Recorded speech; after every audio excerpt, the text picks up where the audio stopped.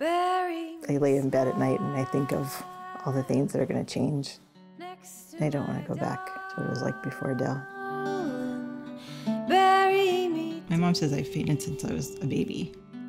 I believed it was only a matter of time before Marty suffered a severe injury.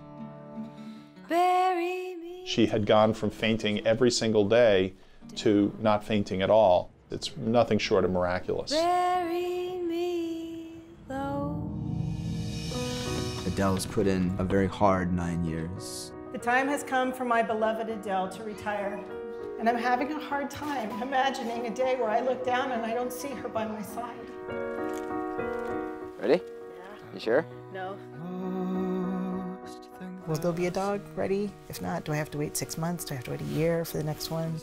How long will it be before my new dog alerts me? Will I be safe? You know, she's literally scared for her life.